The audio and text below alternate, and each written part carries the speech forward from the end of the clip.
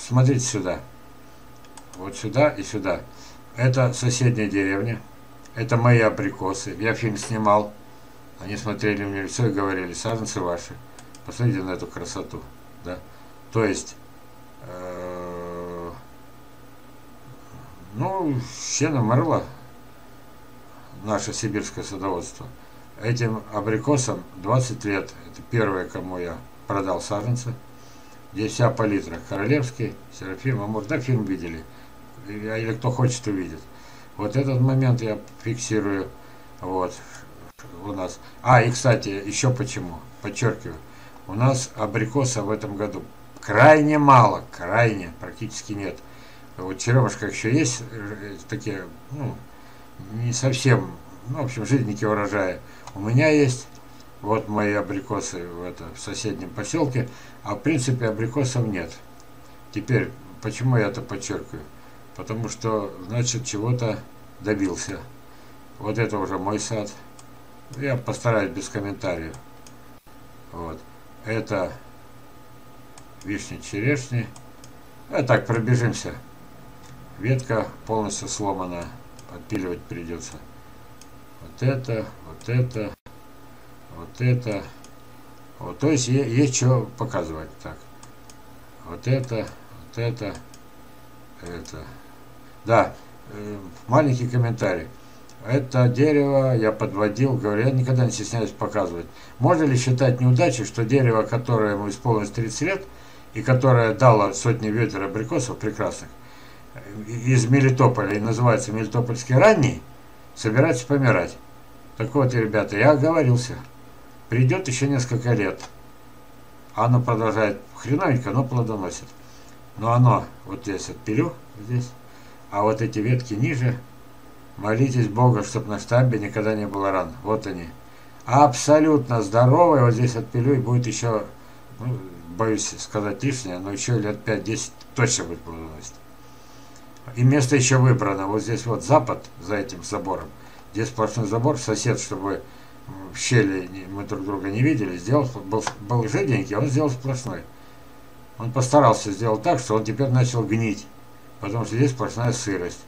Вот с юга э, соседние деревья полностью закрыли тень, и дерево начало подыхать. Ну, это яркий пример. Но ничего, дерево подыхает, а для нас, э, как это говорил, другим наукам, но, боже мой, какая скука. Поехали дальше. Вот. Мы собирали коллекцию для Савинич, которая будет э, новая коллекция из уже клонов, которые на родителей не похожи никак. Ну, принцип такой, мама брюнет, папа блондин, сын рыжий, и бегай по соседам, нет ли рыжего соседа. Вот у меня как раз такие рыжие соседы есть. Поняли, да? Ну, в смысле, аллегорию поняли. Вот. И вот все, все эти плоды попали в ведро Елены Санны, которое вы уже прекрасно знаете и еще, надеюсь, узнаете. Будущий министр сельского хозяйства, это как минимум. С ее напором, с ее мозгами, вот, с каким-то бешеным энтузиазмом. Вот. Это будет первый чек с дипломом, с этим самым, с диссертацией, но на нашей стороне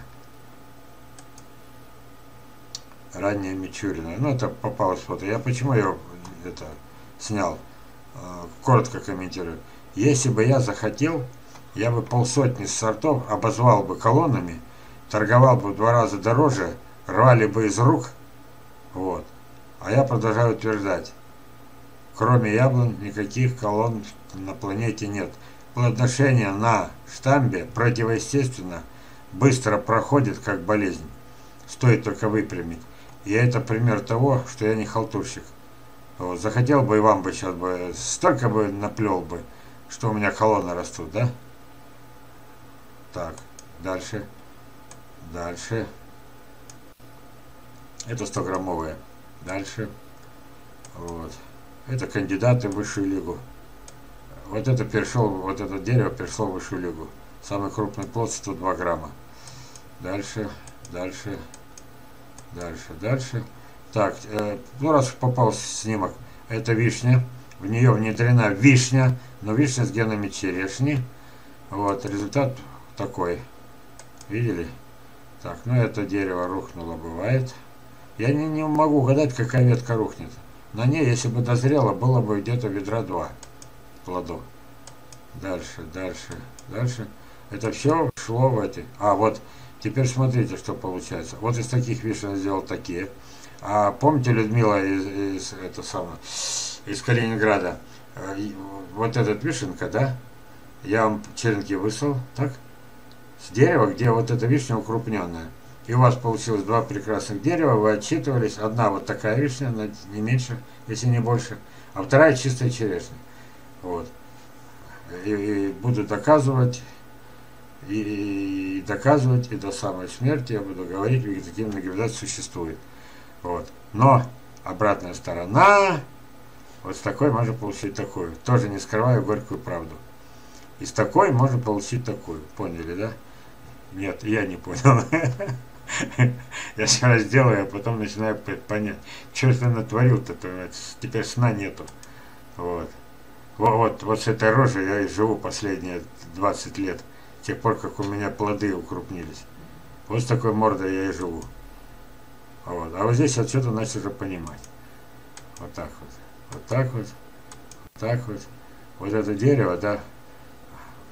Видите, что подвой вылез? Это же прямо борьба с подвоем лютая. Его изувечат, привьют высоко, а подвой изувечат. Смотрите, э, последствия моей работы. Ну, дерево молодое, ему 20 лет. Вот эта прививка. Так, вот она. Привита где-то здесь. Вот. Теперь, ну, кажется здесь, скорее всего, ниже. Вот. Она начала погибать. Четыре ветки вылезли ниже прививки. Я ни одну из них не тронул, естественно. А я их должен был уничтожать, уничтожать, уничтожать. И, и вот здесь до метра уничтожать все. То есть ничего этого не должно быть, вам мерится. Теперь это погибает. Это э, именно с этого дерева я сделал самое... Нет, не самое. А, так. Ну, в общем, одна из самых сенсационных фотографий с огромными плодами абрикосов. А вот это вот, вон они валяются, видите? Это подвоенные.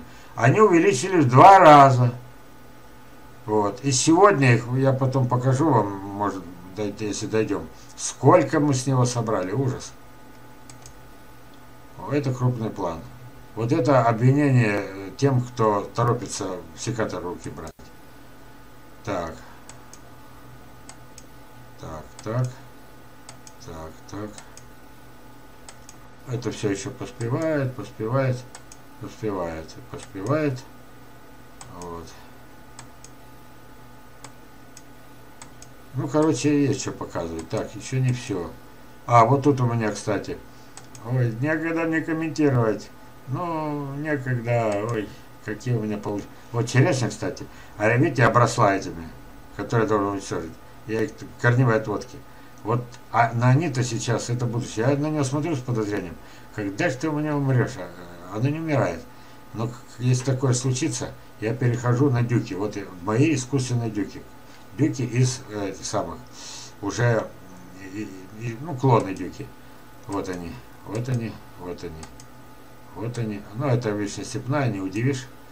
Вот они, вот они. А, вот это интересная фотография. Видите черешник, да? А, а, обработка идет, так? Вот. Ну, да, мы сказали, фотографировать мне их не надо. Вот. Ну, я сфотографировал не их, а вот это самое, вот эту черешню. Так вот, значит, Елена Александровна, когда это будет э, помыто, высушено и прочее, я просто повторяю слова, я вам вручаю 200-300 косточек черешни, я вам ниже покажу, с какого дерева она, так, вот, Две задачи будет стоять перед вами. Первая задача такая. Надо, я черешню никогда не стерилизировал, и, то есть не так, после, никогда не делал, чтобы стерилизировал и садил. То есть черешню я сем, семенами не занимался. Теперь я надеюсь, что вы займетесь, потому что кроме абрикосов я вам еще предлагаю две темы, если вы не разорветесь это самое. Э, как трудно, когда все хочется, а уже все раскрыто, да, все секреты, тайны, но полпути пройдено, а дальше-то кто будет? И вот я э, надо первое установить будет э, сроки, влажность, температура хранения косточек, чтобы у вас весной зашли из этих хотя бы половина. Допустим, 100 штук, даже 100 штук зашло. Так. Второй этап простой. Замерзнут или нет? Уже без моих подвоев этих самых, без э, вишневых супермарацойских подвоев. Второй момент. Замерзнут или нет? И третий момент. Сколько из них останется черешнем, а сколько, сколько вернется куда? Вишню. Потому что мой пример, вот он, э, этот новый русский, вот он в хуторе на другом конце деревни. Я ему пять привиток черешин продал да за хорошие деньги. Три из них стали вишнями. А тут тем более. И вот это все интересно, и в конечном счете что-то превратится в вишню, а скорее всего в дюк, то есть вишня-черешня гибрид. Там вот гены и те, и те. А кто-то чистая черешня. И вот эта черешня, второй этап, можно будет использовать в коммерческих целях. Вот. Ну не сразу, ну, подумаешь, до, по отношению довести. Но все равно вопрос всего несколько лет. Вот это вот я вам приготовил такой еще один сюрприз. Пока вот фотографировал, пока готовился к вебинару. Так что держитесь. Вот. Вести с полей. Вот. Вести с полей. Вон он, парша. Наконец-то. А то я, помните, говорил, у меня ни одной паршинки несколько лет не видел. Вот они дожди. Ну ничего, не смертельно. Так, и Елена Санна. Три дня мы собирались. Вот последние эти черешенки э, Канчина. Я почему сфотографировал? Мы чуть ниже будем говорить с ней, и не с ней, а будем говорить о ней. Потому что с этим вредительством надо прекращать. Но тем не менее, это брянская розовая. Опять я не посмотрел, кто автор, но то, что она имеет прямое отношение, я знаю к ней. Вот. И тут получается так. Мельчайшие плоды, ясно, сеянцы. Вот. То есть предыдущее поколение, то есть черенки пришли из дерева, привитого, то есть и так, черенки пришли срезанными с дерева сеянца. Мельчайшее невероятно, никакого интереса не представляет, даже в дачном саду. Вот. Значит, самое бесплодное, опылять их некому, поэтому это и весь урожай. Вот тут десятка три.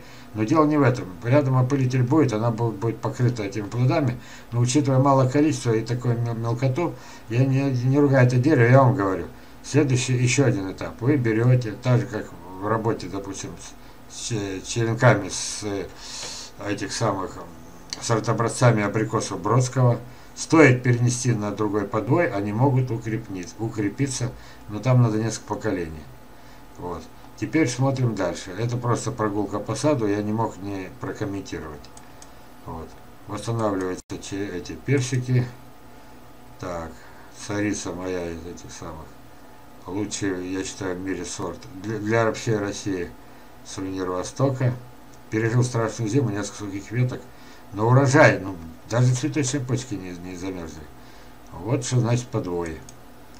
Так, ну, понятно, что это день рождения мое. И это, э, я готовлю президента. Знаете почему? Объясняю. Объясняю по-простому. По Если Путин, на которого я надежду практически потерял, вот за 20 лет полный ноль это. Это при том, что меня печатали все центральные газеты и журналы. Полное безразличие, полный ноль. Вот. Ну, что теперь?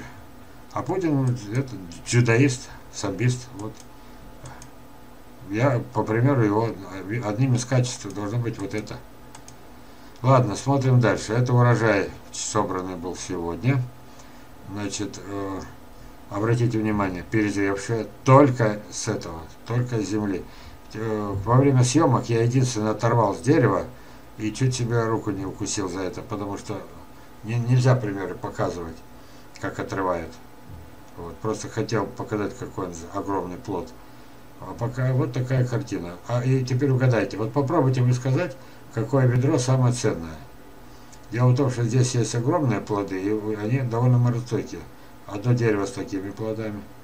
Кстати, Сенька сегодня заработал первые 100 рублей, пол ведра собрал абрикосов. Вот эти вот, вот оно самое ценное. Это абрикос маньчжурский патриарх. Вот это самое ценное ведро, на свете.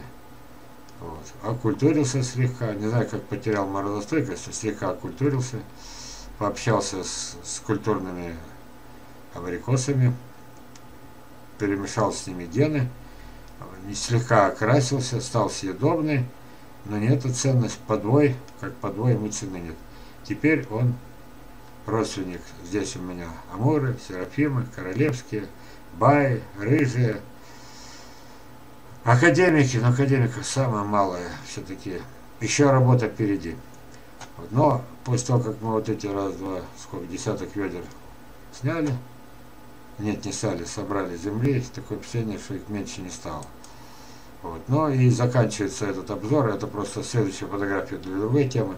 Но я еще раз хочу сказать, господа ученые, те, кто учит это самое, я еще буду показывать. Вот. Ну, а разуйте вы глаза. Ну, посмотрите, это, по-моему, Савинич мне фотографию эту сделала и прислала.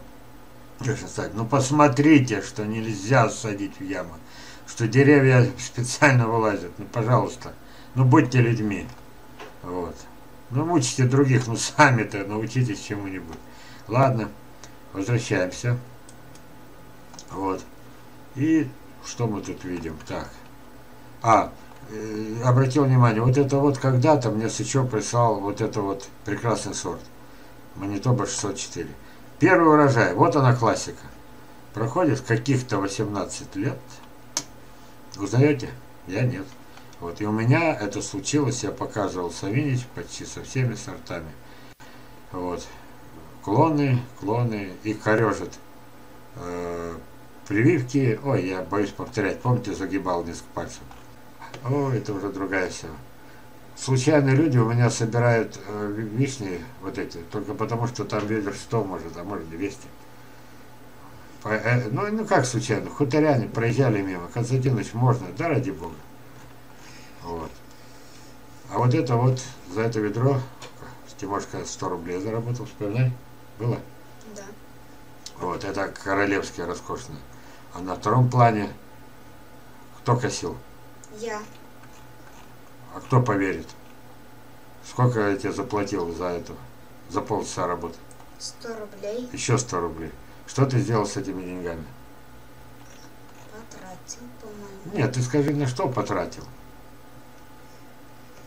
Зоопарк. Забыл. Ну все, друзья, мы с Тимошкой пойдем на кухню. Сейчас, может, он уже проголодался. Через пять минут встречаемся. Я надеюсь, Антон Валерьевич сейчас возьмет и э, покажет ваши вопросы, наболевшие. Кстати, вот это, это, э, э, эта процедура очережневения вишни, вот, ну здорово же, да? Все, молчу, молчу, молчу. Чему приводит прививка желтой черешни к вишне? Пожила два года, вот, ни одного плода я не попробовал, и умерла. А вишня заразилась. А доказательства вот они. Пожалуйста. Скажите, что я их красил в желтый цвет. А до того интересно, очень интересно. Причем уже все, уже все в моем саду так поперепутано. Вот, хотите получить вишню из черешни? Пожалуйста. Хотите получить черешню из вишни? Пожалуйста. Вот, что угодно. Косточки из моего сада обладают уникальной способностью к, назовем это, знаете, какое слово сейчас придумаю? Трансформации, да. Может быть, новый термин ввести. Сорта трансформеры. Вот понимаете, сколько раз я читал вот эти предостережения, я надеюсь, меня сейчас слышно, пока идет перестройка тут. А, вот эти вот предостережения о том, что ох, нельзя дикарей рядом с культурными садить. Ну вот согласитесь, что я ни, ничего не преувеличу, что это как бы одно из основоположных. Ну что, дикарей садить рядом с культурными? Опылят все, что потом что будет. Ну, у меня половина сада, треть сада дикарей, треть сада полукультурных, треть сада культурных. Еще какое-то количество супер что. Ну и что? И пора у меня заказывать эти самые косточки абрикоса, вишни, черешни, дюка вишни черешневых. э, вишневойлочная, еще раз говорю, и полный набор абрикосов. В этом году у меня абрикосов поменьше, абрикосов у меня будет ведер 200. Да. Ну, ну, ну так прилично. Там было бы 300, но крупноплодных маловато.